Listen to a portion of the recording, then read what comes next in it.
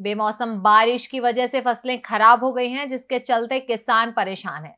किसानों ने खराब फ़सलों को लेकर चक्का जाम कर प्रदर्शन किया और मुआवजे की मांग की है। छतरपुर में बेमौसम बारिश और ओला गिरने से किसानों की फ़सलों को भारी नुकसान हुआ है, जिसके चलते किसान परेशान है और सरकार से मुआवजे की मांग कर रहे हैं। किसानों ने ट्रैक्टर में बर्बाद हुई फ़सलों को रखकर चक्का जाम कर प्रदर्शन किया। किसान चाहते हैं कि सरकार उनकी मदद करे। यार Ajay look at your dad हम इस उम्र में ऐसे रहेंगे क्या? बिल्कुल रहेंगे। अगर पापा जैसी सही प्लानिंग की तो। जैसे कि? मेरे पापा ने इन्वेस्ट किया एलआईसी के जीवन अक्षय में जो दे रहा है इमीडिएट और guaranteed annuity at regular intervals ज़िंदगी भर के लिए। वाह।